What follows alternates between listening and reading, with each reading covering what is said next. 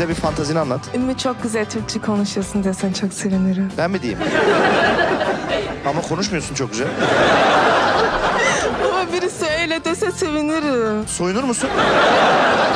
Ay sevinirim. Önceden söylesen hayatım. Muhteşem Türkçe konuşuyorsun.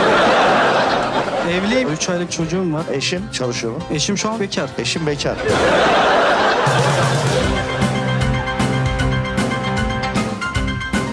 Abi bu arada telefon çaldı ya arayan karıma. Telefonu versene ben yengeyle konuşayım.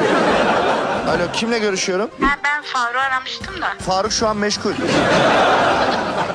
Ben arkadaşıyım. Kızlarla içeride Faruk. Çağırayım mı? Ben Faruk'un evli olduğunu bilmiyordum. Nasıl yani?